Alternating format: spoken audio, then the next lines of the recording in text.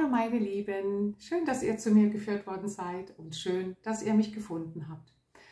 Ich möchte heute ein kurzes Video machen und zwar hatte ich heute eine Blockadenlösung und da war das von der Kundin nochmal so, so wertvoll. Sie hat mir nochmal ganz kurz berichtet, ähm, wie viel Mut ihr das gibt, weil sie meinen lebensleidens schmerzhaften Weg ähm, weiß, was ich alles durchgemacht habe und dass ihr das einfach Mut gibt auch wenn sie Phasen hat, wo sie wieder einknickt und am liebsten alles hinschmeißen würde, ähm, dass sie das einfach vorantreibt.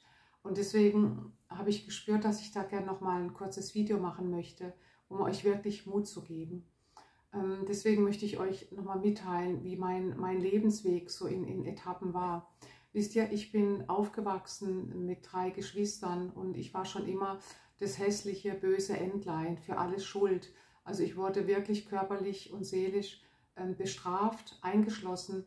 Ähm, bis ich 18 war, war, war ich oft eingeschlossen, hatte Hausarrest. In der Schule wurde ich gemobbt, ähm, war Einzelgänger, wurde für auch da von den Lehrern für Dinge bestraft, die ich nie gemacht habe. Ich habe sehr darunter gelitten. Mein Vater hat viel Alkohol getrunken, wenn er er hat mich viel geschlagen, auch nachts, wenn er aufgestanden, äh, wenn er heimkam und meine Mutter ihm irgendwelche Geschichten erzählt habe, die ich nie gemacht habe, weil sie, ja, das, aus welchen Gründen auch immer, hat sie das gebraucht, ähm, ihm einfach Geschichten zu erzählen, die ich nie gemacht habe und dafür hat er mich geschlagen. Ähm, in seinem Suff natürlich, könnt ihr euch vorstellen, wie das abging. Meine Mutter hat mich auch sehr geschlagen, sie war eifersüchtig ähm, auf mich, deswegen wollte sie eben, dass mein Vater mich auch ähm, mit Hassaugen sieht, aber er war so ambivalent, ein Teil in ihm war dass er mich geliebt hat und auch immer gesagt hat, du bist anders wie die anderen, dass er mich mag. Aber auf der anderen Seite hat er mich eben auch sehr bestraft. Und auch da war die Ambivalenz. Ich wusste nie, wo ich dran bin. Immer das Gefühl, wann kommt der nächste Schlag. Immer diese Halb-Acht-Stellung. Ähm, ich musste Klamotten anziehen, wo andere Eltern weggeschmissen haben in den gelben Säcken. Die musste ich tragen. Könnt ihr euch vorstellen, wenn die Kinder das gesehen haben in der Schule oder die Jugendlichen, wie ich ausgelacht worden bin. Es ist unglaublich und dann geht es weiter mit Mobbing, mit der Arbeit. Dann ziehst du mit 18 aus und denkst, du machst dein eigenes Leben, es wird besser. Nein, du nimmst alles mit. Ähm, katastrophalen Missbrauch erlebt, ähm, auch von, vom eigenen Onkel und ähm, ich war ja angeblich dann selber schuld, wenn du mit vier missbraucht wirst und so weiter. Wisst ihr, ich erzähle euch jetzt nicht, um Mitleid zu erregen, sondern damit ihr seht, Mensch, die Frau hat es erlebt, die Sabine Michel hat, die, die weiß, wovon sie spricht und die hat es auch geschafft. Ich war alleinerziehend, ähm, niemand war für mich da. Ähm, mit meinen Geschwistern habe ich auch keinen Kontakt mehr. Ich habe es immer probiert, aber es hat nichts gebracht. Immer war ich diejenige, die den Schritt gemacht hat und irgendwann musste ich da mal feststellen, auf meinem Heilungsweg, es hat keinen Wert. Äh, Mobbing war jahrzehntelang mein Thema bei der Arbeit. Neid war eine große Rolle in meinem Leben. Ähm, mit dem Karl die Geschichte, wisst ihr, 18 Jahre lang on-off, wie er mich behandelt hat. Er hat es nicht mit Absicht getan, keine Frage. Er hat Ängste gehabt, er konnte äh, seine Gefühle nicht zeigen, weiß ich alles, ist auch alles in Ordnung. Aber trotzdem, wenn du das durchlebst und mitmachst, ähm, fragst du dich ja manchmal wirklich, ich hatte letztens ein Video gemacht, steht da wirklich, behandelt mich wie S-C-H-E-I, Pünktchen, Pünktchen, E, ihr wisst, was ich meine. Ähm, ich war immer anders wie die anderen. Ich habe mich immer so gefühlt, wie wenn ich gar nicht in die Welt hineingehöre. Ich hatte kein Geld, ich war ganz unten. Aber ich habe immer gespürt, ich muss, ich will weiterkommen. Ich, ich habe immer gespürt, da ist was. Ich habe immer gespürt als Kind schon, ich möchte Menschen auf den Weg bringen, Weg begleiten. Ich wusste zwar nie wie, aber das gehört alles dazu. Ich, ich wurde geführt. Und es ging nur, weil ich gespürt habe, dass ich weitergehe. Der liebe Gott war für mich ein Begleiter. Als Kind habe ich ihn schon in meinem Leben gehabt. Und äh, das war mein Halt, das war mir aber nicht bewusst. Und dann habe ich ihn aber irgendwann in die Tonne geklopft, weil ich gedacht habe, du bist ja gar nicht für mich da, sonst würde ich das ja gar nicht erleben. Ich bin mit 15 abgehauen von zu Hause ähm, und war in, in, in Szenen verwickelt. Zum Glück habe ich nie Drogen genommen. Da wurde ich beschützt. Ich habe monatelang ähm, bei jemandem, jemand hat mich aufgenommen, da habe ich monatelang ähm, unterm Bett gelegen tagsüber, weil er im betreuten Wohnen war und es durfte nicht rauskommen. Ähm, ich musste dringend Pipi machen, ich durfte nicht raus.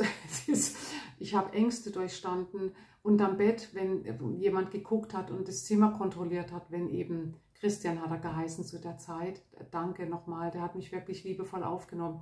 Aber es war klar, ich musste tagsüber unterm Bett verweilen, weil nie klar war, wann kommt jemand und guckt sein Zimmer an, ob es ordentlich ist. Es hat nie jemand unter das Bett geguckt, sonst hätten sie mich entdeckt. ähm, wisst ihr, ich kann heute ähm, drüber reden oder schon lang drüber reden. Und ähm, ich hatte Höhlenängste, Panikattacken, ich, ich hatte Ängste und die Bulimie, meine ganzen Süchte, die ich hatte, haben mich zu dieser Zeit gerettet, weil das war so ein Freund, auch ein Stück ein Begleiter. Das hört sich vielleicht blöd an, aber Menschen, die weiter sind, die wissen das. Auch jede Sucht ähm, will ja was sagen. Und zu der Zeit war einfach das ein Trost für mich, diese Bulimie zu haben. Ja, ich habe geklaut in den Läden, damit ich mir das Zeug überhaupt zusammenkratzen konnte in meiner Jugendzeit. ähm, ja, da hatte ich mir die Süßigkeiten alles geklaut. Wurde natürlich dann auch mal erwischt, aber das hat auch dazu gehört. Ähm, wisst ihr, ich könnte noch so viel erzählen. Ähm, dieses Weggestoßen werden von der eigenen Familie, dieses Du bist für alles schuld, Mobbing, der Neid, kein Geld zu haben, aber dann doch zu spüren, ich habe immer gespürt, ich will und ich habe es ja geschafft. Und das ist das, was ich euch mitteilen möchte. Bleibt, bleibt auf euer, vertraut drauf. Wenn ihr wirklich wollt, ihr kommt da raus aus allem. Wenn ihr eine Sucht habt, ich hatte eben eine Kundin mit extrem Hautproblemen, ähm, die Haut reagiert ähm, und sie hat mir auch gesagt, ich habe vieles äh, schulisch probiert mit Cremes und was weiß ich. Das ist alles gut und recht, aber die ganzen Cremes oder alles, was im Außen draufkommt oder Tabletten, alles, was im Außen weg soll, äh, um den Schmerz nicht zu fühlen, das ist eine kurze Linderung vielleicht. Ähm, aber wenn ganz tief unten Wunden sind, dann nützt auch, dann, dann nützt, oh, wartet mal kurz, es hat geklingelt, ich komme sofort.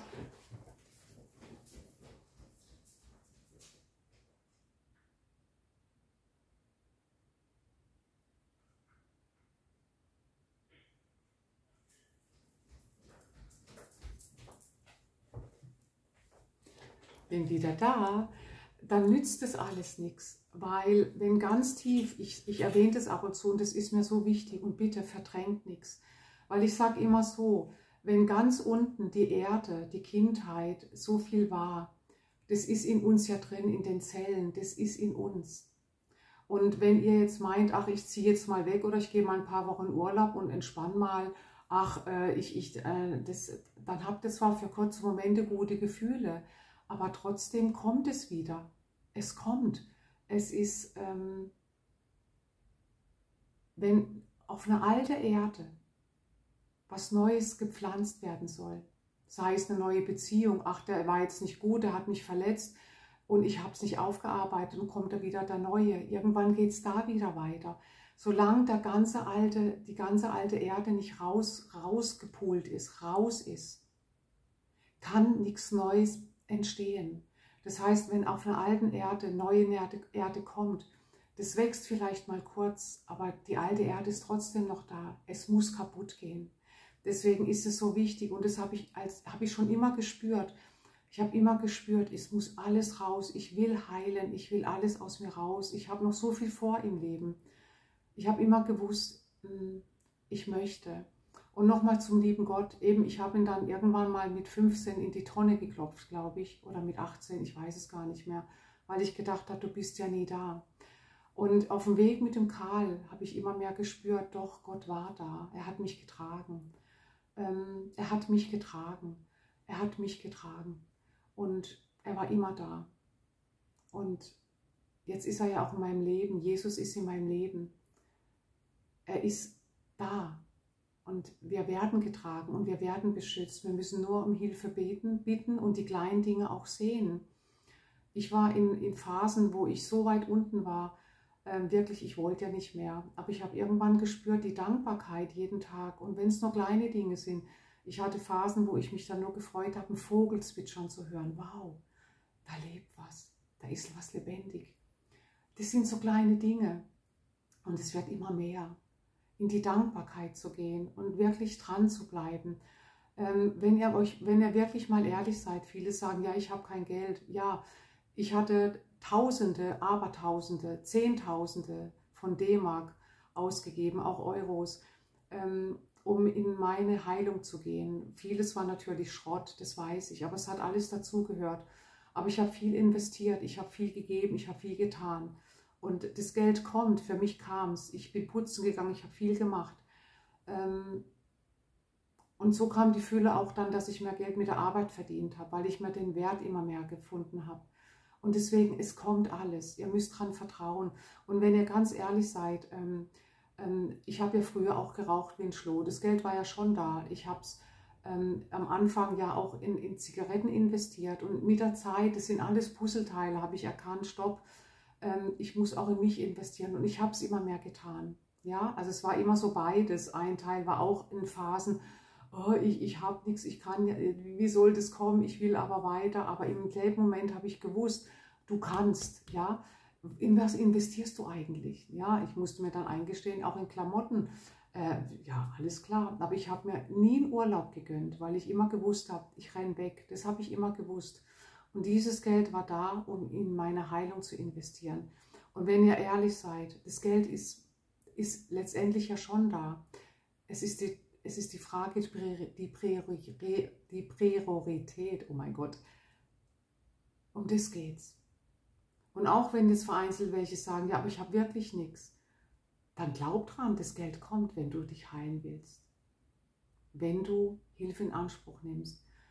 Und ähm, deswegen ist mein Weg, heute weiß ich, ich musste diesen schmerzvollen, leidvollen Weg gehen damit ich euch die Abkürzung geben kann. Ich kann euch mitnehmen, ich kann mitfühlen, ich kann euch verstehen. Ich bin den Weg gegangen. Und da ist es jetzt egal, ob Gefühlsklärer, ob es um die Liebe geht. Es geht um alles. Es geht um den Beruf.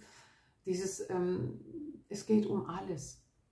Ähm, auch wenn du jetzt das Video anguckst und sagst, ich bin jetzt in keiner Liebes, ich habe keine Liebeskummer, aber trotzdem spüre ich, in meinem Leben ist viel Leid. Ich bin immer die Schuldige oder nie geht was voran. Bleib dran. Investier in dich, mach Seelenbotschaften oder die Vier-Schritte-Anleitung oder Buchblockadenlösung. Wir kommen dem auf die Schliche. Das muss nicht immer darum gehen, dass es Probleme jetzt mit dem Partner ist oder äh, ja, ein Liebesproblem ist. Kann auch wirklich Arbeitsprobleme sein. Probleme mit den Kindern, die spiegeln euch auch was. Guckt hin, die sagen euch was. Ich war alleinerziehend mit meiner Tochter. Ich habe viel ähm, auch falsch gemacht, ähm, habe viel drunter gelitten Irgendwann musste ich sagen, ich konnte es nicht besser, aber das gehört alles dazu zur Aufarbeitung. Ihr seid Vorbild für eure Kinder. Und jetzt prüf mal nach, wenn du Kind hast, bist du für dein Kind da oder machst du das Gleiche, was du erlebt hast, indirekt gibst du deinem Kind das Gleiche weiter. Und, und, und. Ich habe meine Tochter zwar nie geschlagen, aber ich habe sie verbal geschlagen. Ich habe sie verbal ähm, nicht geachtet, nicht geehrt, ähm, vernachlässigt. Versteht ihr? und so weiter und so fort. Deswegen, ich möchte euch Mut machen. Ähm, ich habe es aus der Misere auch rausgeschafft. Und ihr schafft es auch. Mit Jesus Hilfe, mit Gottes Hilfe habe ich es geschafft. Und er hat mir die Wege gegeben. Und wenn du jetzt zu meinem Video geführt worden bist, ähm, dann schau, was ich anbiete. Das hat einen Grund. Nimm es dankend an. Ich habe es geschafft, aus all meinen Süchten mich zu heilen, zu befreien, ähm, zu wissen, meinen Wert, zu wissen, was ich wert bin. Ich brauche keine Beziehung mehr, wo einfach nur Leid ist, wo, wo Kampf ist, wo, wo, wo ich immer kämpfen muss, sondern ähm, es darf auch liebevoll und harmonisch sein. Es darf in Beziehung gehen. Und ich werde auch mal ein Video machen, was Beziehung wirklich heißt. Ähm, von einem Ich, ich und du kann zu einem Wir werden. Aber das ist eine andere Geschichte. Mir war jetzt wichtig, euch in dem Video mitzuteilen und ich habe noch lange nicht alles erzählt, um Gottes Willen. Das ist ein Teil von dem, was ich noch erlebt habe. Ähm, aber ich finde, es reicht schon. Ähm, ich war immer alleine, alleine. Heute weiß ich, letztendlich war ich all eins.